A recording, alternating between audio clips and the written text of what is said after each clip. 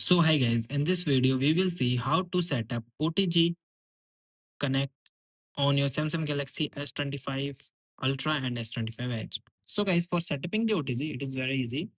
So guys, here is she. This is my Type C to USB converter. Okay. So first I am inserted in my charging slot. So simply insert it. Okay. After properly installed, then guys open your settings. Then guys here you see the option of your pen drive and simply turn it on. Okay, so just tab it and insert it into. Okay, so now guys, after successfully and properly installed, here you see the light start blinking, so it is mean it is connected. Then guys, go to the option of your files. The files, just tab it, and guys, here you see the option of USB storage one. So this is my pen drive.